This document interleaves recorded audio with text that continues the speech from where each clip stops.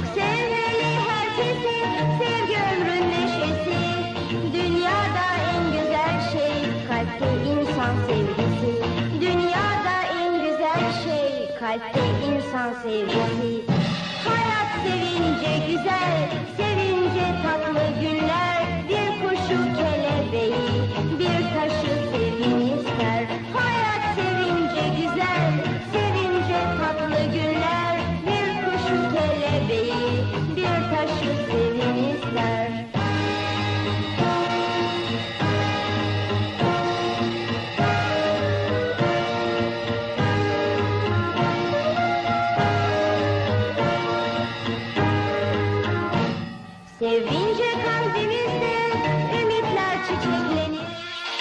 Kapatasım gelmiyor.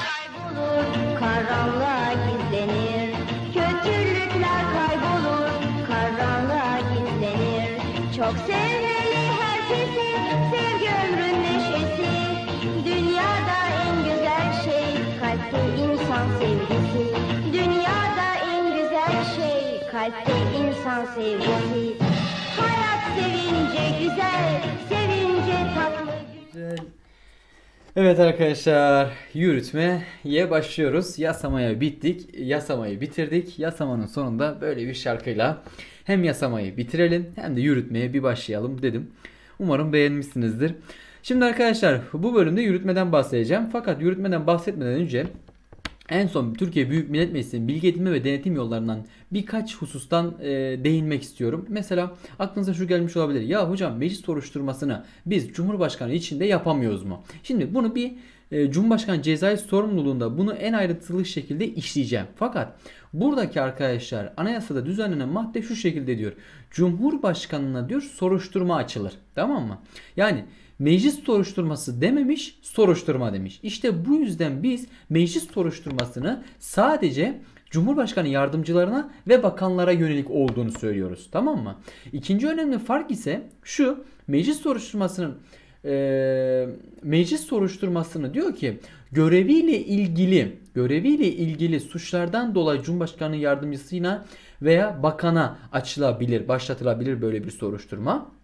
Ama Cumhurbaşkanlığındaki e, durumda ise arkadaşlar e, diyor ki işledikleri bir suçtan ötürü soruşturma başlatılabilir. Tamam. Yani burada göreviyle ilgili dememiş. Bunu buradan da şunu yorumluyoruz. Demek ki göreviyle ister göreviyle ilgili isterse kişisel bir suçtan dolayı olsun Cumhurbaşkanı soruşturma başlatılabiliyor. Anladın anladınız değil mi? Ya buradaki bir ya o kelime farkındalığı birçok yorum yapmamızı sağlıyor. Mesela mülakatta böyle bir şey geldi. Cumhurbaşkanının diyor meclis soruşturması var mıdır?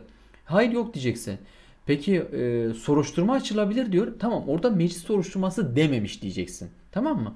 Bunlar ufak e, ufak böyle ayrıntılardır ama o kadar şeyi değiştirebilir ki.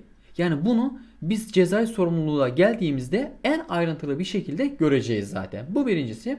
İkincisi işte bunların e, meclis meclis soruşturması açılması için teklifinden tutun mecliste kabulü için komisyonun kurulması için o sürecin tamamı Cumhurbaşkanının soruşturması için de geçerli. Oraya geldiğimizde ayrıntılı bir şekilde göreceğiz. Ama sen şu cümleyi kurman gerekiyor şu an. Şu an bunu kurman gerekiyor.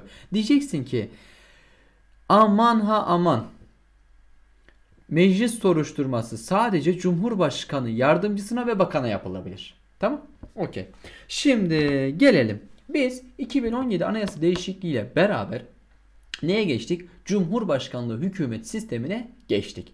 Yani parlamenter hükümet sistemi 1982 anayasasında artık son bulmuştur. Eğer ki sana şu şekilde bir soru gelirse e, 1982 anayasasına göre e, kabul edilen hükümet sistemi nedir? Uygulanan hükümet sistemi nedir? Cumhurbaşkanlığı hükümet sistemi diyeceksin. Hocam Cumhurbaşkanlığı hükümet sisteminde denince aklıma ne geliyor? Ne, ne gelmesi gerekiyor? Şimdi parlamenter hükümet sisteminde bunu ilk defa karşılaştıracağım. Burada ilerleyen videolarda, ilerleyen dakikalarda herhangi bir karşılaştırma yapmayacağım. Şimdi biz parlamenter Eski videolardan da baktığınızda 2018 Anayasa Hukuku videosunu anlatırken ben size şunu diyordum. Arkadaşlar karşımda parlamenter hükümet sistemi vardır. Yani e, iki başlı bir hükümet sistemidir. Bir tarafta bakanlar kurulu, bakanlar kurulunun bir sorumluluğu söz konusu. Diğer tarafta sorumsuz bir kanat olan yani cezai bir sorumluluğu söz konusu olmayan sadece vatana ihanetten dolayı yargılamasının önü açılabilecek olan yargılamasının mümkün olduğu olduğu Cumhurbaşkanı var. İki başlıdır. Şimdi ben Bakanlar Kurulu'nu ortadan kaldırdıysam Bakanlar Kurulu bu işin cezai soruşturma kanadını oluşturuyorsa artık Bakanlar Kurulu ortadan kalkıp tüm görevler gelip Cumhurbaşkanı'na geldiğinden dolayı artık Cumhurbaşkanı'nın bir cezai sorumluluğu söz konusudur diyeceğim. Sadece vatana ihanetten dolayı sorgulanabilir soruşturma açılabilir ifadesi artık hayal oldu. Yani işlediği herhangi bir suçtan dolayı cezai soruşturması söz konusu mu? Söz konusu. Yani şunu diyeceksin. Artık yürütme denince benim aklıma kim gelmesi gerekiyor? Cumhurbaşkanı. Tekrarla kendine. Yürütme denince aklına ilk gelecek kişi kim? Cumhurbaşkanı. Dakikayı başlatmamışım. Şimdi başlattım. Tamam mı? Cumhurbaşkanı artık yürütme tek başlı o da Cumhurbaşkanıdır. Bakanlar Kurulu var mı? Yok. Yani sözün özü şu. 2017 Anayasa Değişikliği ile beraber Cumhurbaşkanı hükümet sistemine geçilmiştir. Bir. Artık yasama etkisi Türkiye Büyük Millet Meclisi'nde yürütme etkisi Cumhurbaşkanındadır. Yargı bağımsız ve tarafsız mahkemelerdedir. Eğer ki bu cümleleri sen bu şekilde kuramıyorsan lütfen en başa dön benden tekrar bir yasamayı dinle. Anladınız değil mi? Haydi bakalım başlayalım bir girizgah yaptıktan sonra.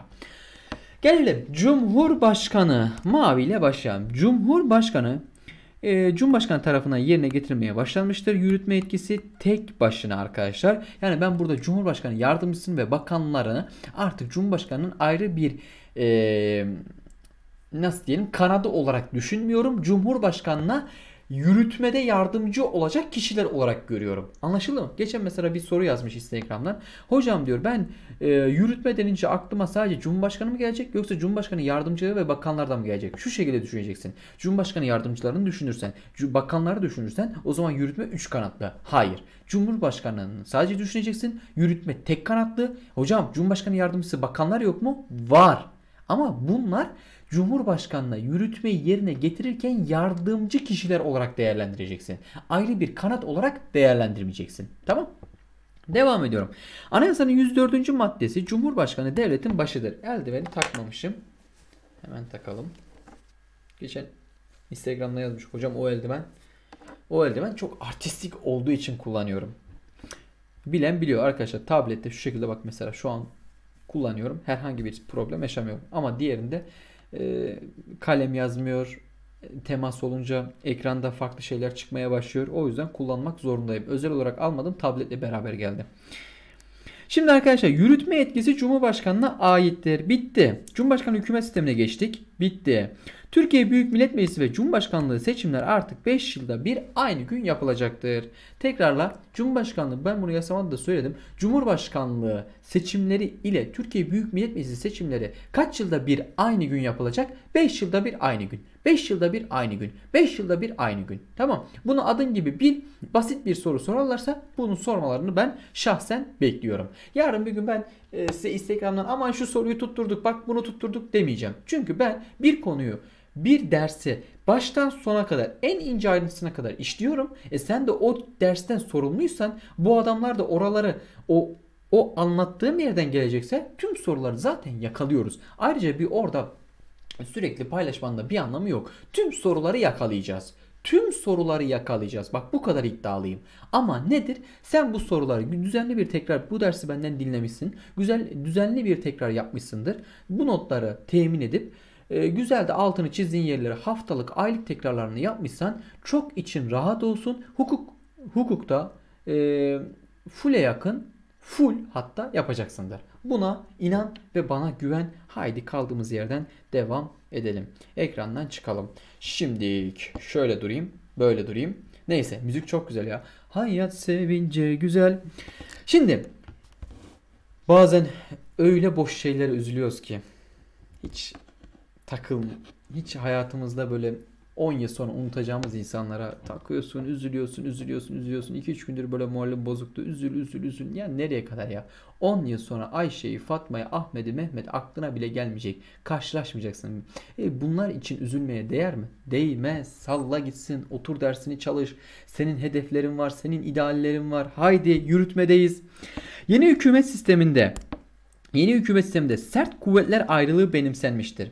Hocam bunun üzerine biraz konuşalım. Sert kuvvetler ayrılığı de, dendiğinde yasama ve yürütme birbirinden kesin olarak ayrıldığı sistemdir. Bakın hocam parlamenter hükümet sisteminde neydi? Yumuşak kuvvetler ayrılığı diyordum diyorduk. Neden? Çünkü mecliste yani milletvekili olan bir kişi bakan olduktan sonra yürütmede yer alabiliyor muydu? O, alabiliyordu. Yani bak buraya yani yasamada yer alan bir kişi yürütmede de yer alabiliyorsa ben burada sert kuvvetler ayrılığı olduğunu söyleyebilir miyim? Söyleyemem.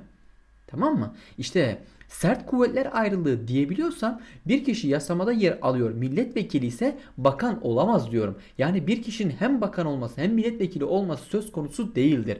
Diyelim ki bir kişi milletvekilleri arasında bakan olarak seçildiği anda milletvekilinden istifa etmesi gerekiyor. Tamam?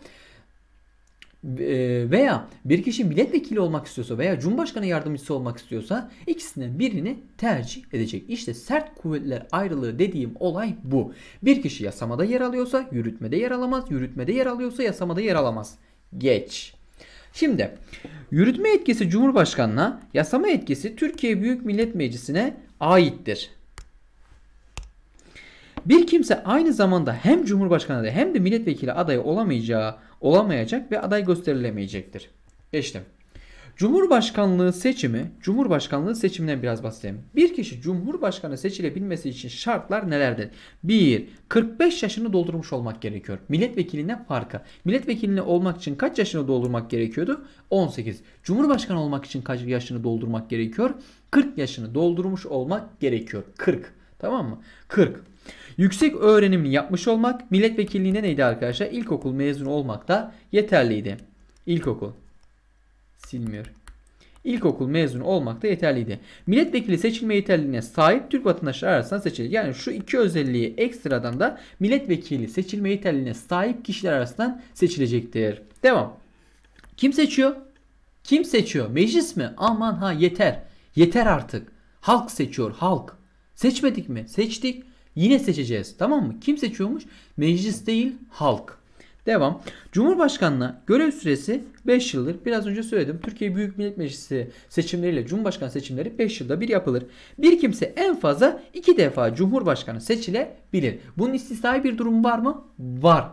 Eğer Cumhurbaşkanı Cumhurbaşkanı mevcut ikinci dönemindeyken Türkiye Büyük Millet Meclisi seçimleri yenileme kararı alırsa mevcut ikinci döneminde olan Cumhurbaşkanı da tekrar aday olabiliyor. Anlaşıldı mı? Hangi koşulda seçimleri yenileme kararı alınacak? Bir kere seçimleri yenileme kararını kim alacak? Meclis alacak ve Cumhurbaşkanı'nın da ikinci dönemine denk gelecek ki mevcut Cumhurbaşkanı tekrar aday olabilsin. Ama ana kural ne? Bir kimse en fazla iki defa Cumhurbaşkanı seçilebilir. Geçtim. Cumhurbaşkanlığına kimler aday gösterebilir? Bir, siyasi parti grupları aday gösterebilir. Bakın siyasi partiler aday gösterebilir demiyorum. Siyasi partiler ayrı bir şeydir. Siyasi Aman bu dökülürse tablet Allah'ım tekrar tablet al. Kredi kartına taksit yaptır. Ödemeye çalış. Aman daha dur bir taksit bile vermedik. Şimdi arkadaşlar Arkadaşlar reklamları izliyorsunuz değil mi? İzlemeniz gerekiyor. Beğeniyorsunuz değil mi? Beğenmeniz gerekiyor. Ama bunların bir şekilde karşılanması gerekiyor. Şimdi arkadaşlar ne dedim? Siyasi parti ayrı bir şeydir. Siyasi parti grupları ayrı bir şeydir. Siyasi parti her 30 tane Türk vatandaşı bir araya gelip siyasi parti kurabilir ama meclise girmemiştir bunlar. Ama mecliste siyasi parti grubu oluşturabilmem için ne gerekiyor? 20 milletvekilinin bir araya gelip iradelerini beyan beyan edip bir parti çatısı altında artık bir siyasi parti grubuyuz demeleri gerekiyor. Demek ki ben bir kişiyi Cumhurbaşkanı adayı göstereceksem siyasi parti grupları gösterebilir. Tamam mı? Devam. Çık ekrandan. Şimdi arkadaşlar devam ediyorum. Devam ediyorum. Nerede kaldım? En son yapılan kendime bakınca kendimi kendimden alamadım.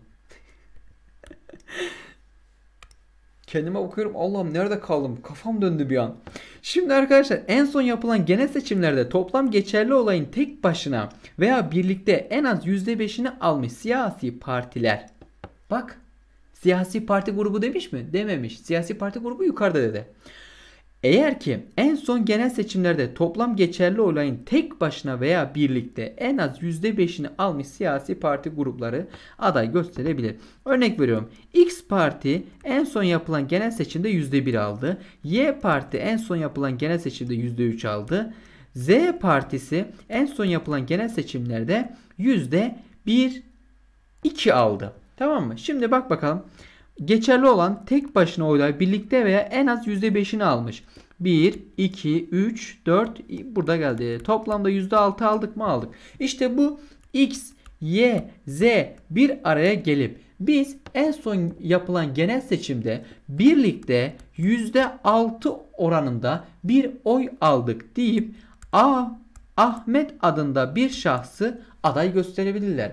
Veya bir de F partisi olsun diyelim. F partisi de arkadaşlar en son yapılan genel seçimde %6 oranında bir oy aldığını düşünelim.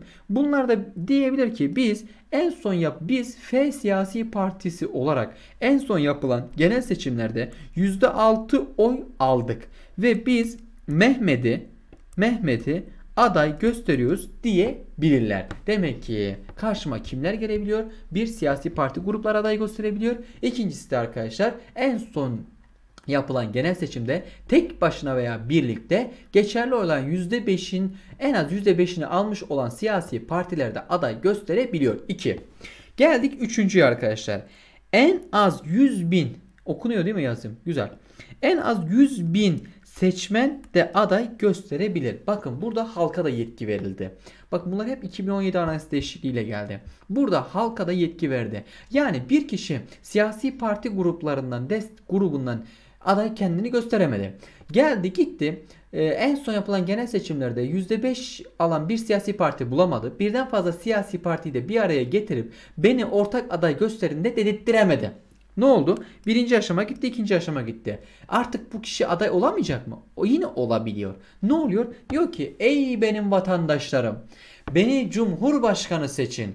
Beni aday gösterin. Artık ben size geliyorum. Nasıl geliyorsun? Gidiyorsun diyorsun ki ey yüksek seçim kurulu. Sana ben bir para yatırıyorum. Bu para arkadaşlar en yüksek devlet memurunun aldığı maaşın 10 katını yüksek seçim kuruluna bir teminat olarak yatırıyor. Tamam mı? Bir teminat olarak yatırıyor Yüksek Seçim Kurulu'na. Sonra da diyor ki örnek veriyorum ben. Tamam mı? Üçüncü seçenekten aday olmayı düşünüyorum. Ben gidiyorum Yüksek Seçim Kurulu'na.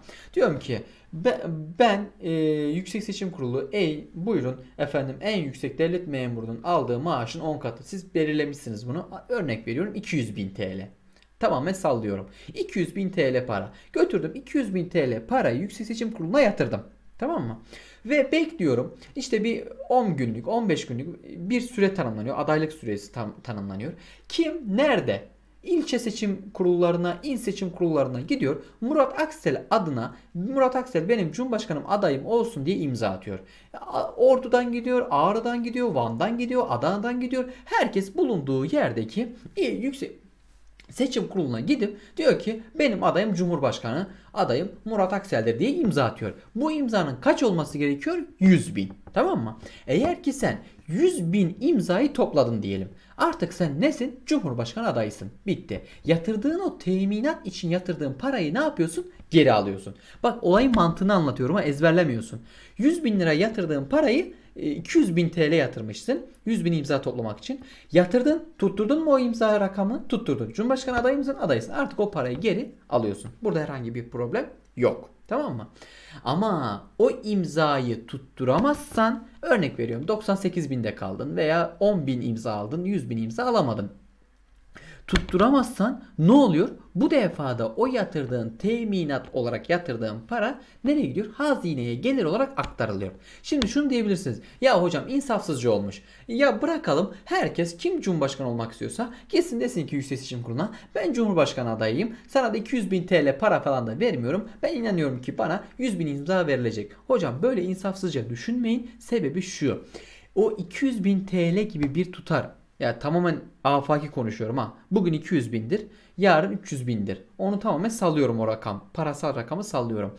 Bu parasal rakamı koy, koyulmasın amacı her önüne gelen gidip ben Cumhurbaşkanı adayıyım diyemesin. Tamam mı? Toplayamama durumu da söz konusu.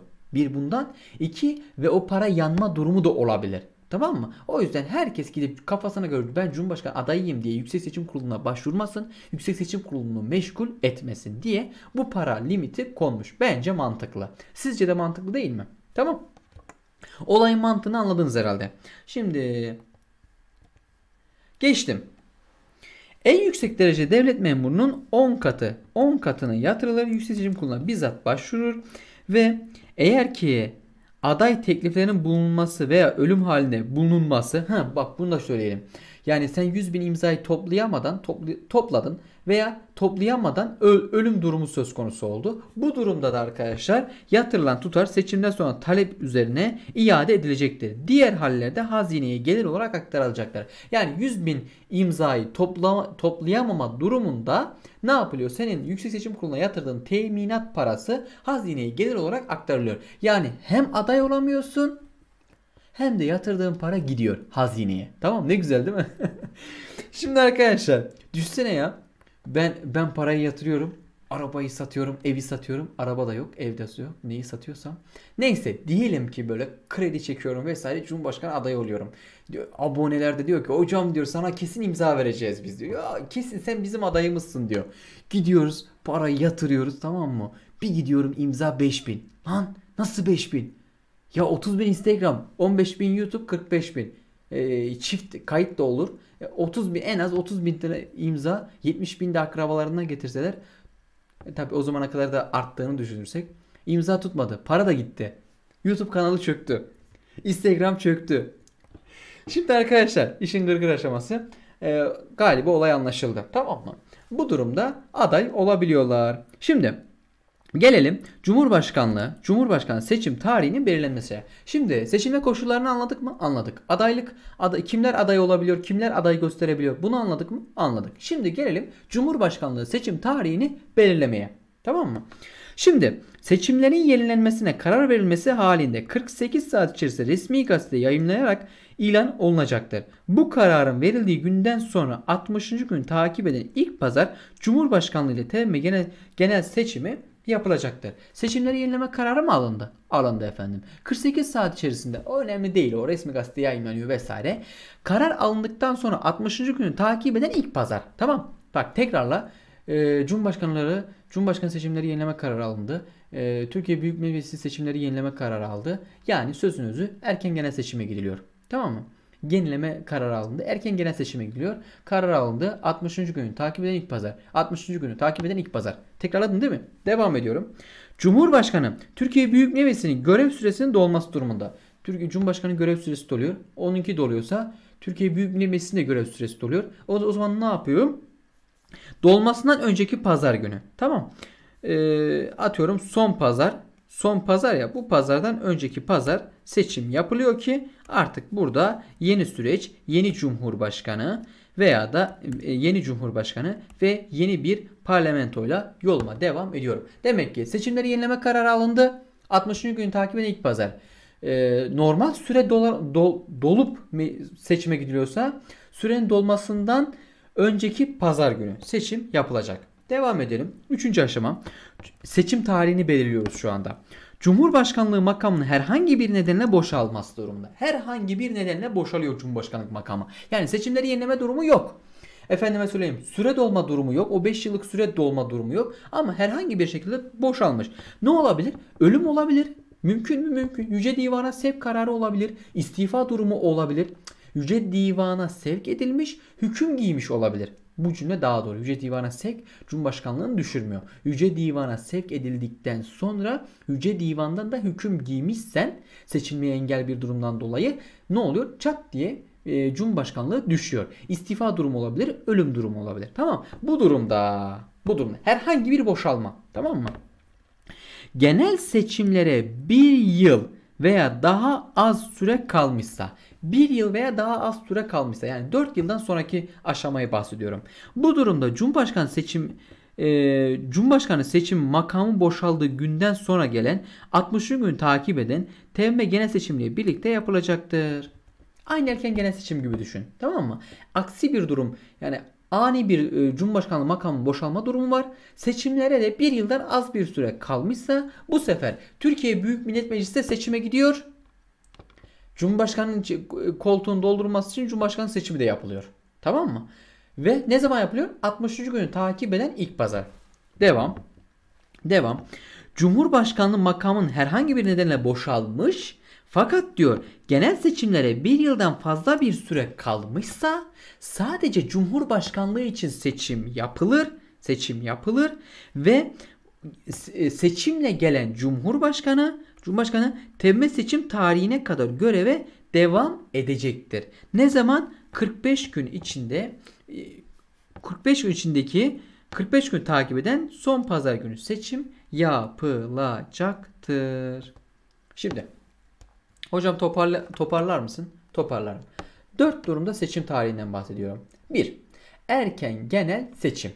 Erken genel seçim kararını ister Cumhurbaşkanı alsın ister Türkiye Büyük Millet Meclisi alsın hem Cumhurbaşkanlığı makamı hem Türkiye Büyük Millet Meclisi makamı yenileniyor. Bunu önceki videolarda yasamada anlattım. Tamam. Ne zaman? Kararı alıyorsun. 48 saat içerisinde resmi gazetede yayımlıyorsun. Sonra yayım tarihine itibaren 60. günü takip eden ilk pazar günü seçim benim tarihim. Bu birinci aşama. Devam. Tekrarlıyorum. İkinci aşama. Olağan 5 yıllık süre doldu. Dolmadan önceki pazar günü seçim yapıyorum. Cumhurbaşkanlığı makamının herhangi bir sebeple boşalması durumunda ölüm, istifa, yüce divanda hüküm giyme durumu tamam mı? Bu durumda eğer ki bir yıldan az bir süre kalmışsa hem temme seçimleri yenileniyor hem temme seçimleri için Türkiye Büyük Millet Meclisi için seçim yapılacak hem Cumhurbaşkanlığı için seçim yapılacak 60. günü takip eden ilk pazar. Tamam ama Cumhurbaşkanlığı makamının herhangi bir nedenle boşalması durumunda seçimlere de bir yıldan fazla bir süre varsa bu durumda sadece Cumhurbaşkanlığı için seçim yapılır.